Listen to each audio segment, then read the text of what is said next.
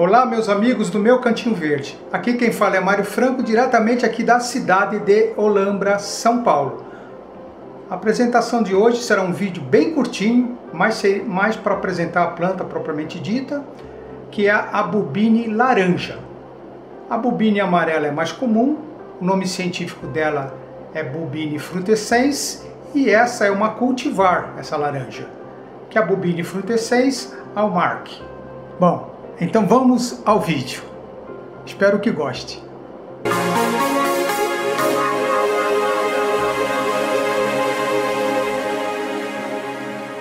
Rústica da família Asphodelaceae. Sua inflorescência é formada por longas hastens, que elas chegam a ter até 60 centímetros de altura, bem acima das folhas, estão dispostas no formato de uma espiga, que nem vocês podem ver aí nesse detalhe. Tendo um conjunto de flores com seis pétalas e a abertura é gradativa, sempre abrindo de baixo para cima. Ela gosta de solo arenoso. Por quê? O solo arenoso ele tem uma boa drenagem. Porque ela não gosta de solo encharcado. Então tem que ser um solo arenoso rico em matéria orgânica. A rega, se não chover, faça uma vez por semana que é o suficiente para ela. Ela não tem caule, é a caule. Ela pode ser cultivada no sol pleno ou também em sombra parcial. Essa que eu estou dando é uma cultivar, mas a, a planta original é natural lá da África do Sul.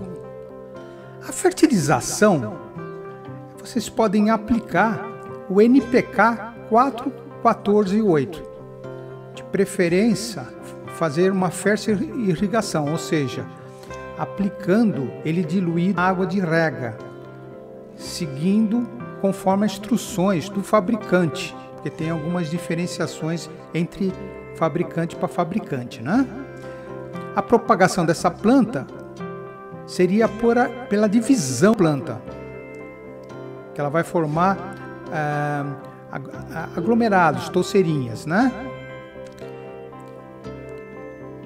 E ela também é uma planta com propriedades medicinais, sendo que as suas folhas, elas parecem uma cebolinha, inclusive o um nome popular dela também é cebolinha de jardim, apesar de não, não ter nada a ver, elas utilizadas dessa forma. Bom, espero que tenham gostado desse vídeo e se gostaram, eu vou pedir aquilo que todos pedem, curtam, compartilhem, façam comentários, se inscrevam no canal se ainda não se inscreveram e ative o sininho para saber quando eu posto novos vídeos. Então até o próximo, se Deus assim permitir. Tchau, um abração a todos.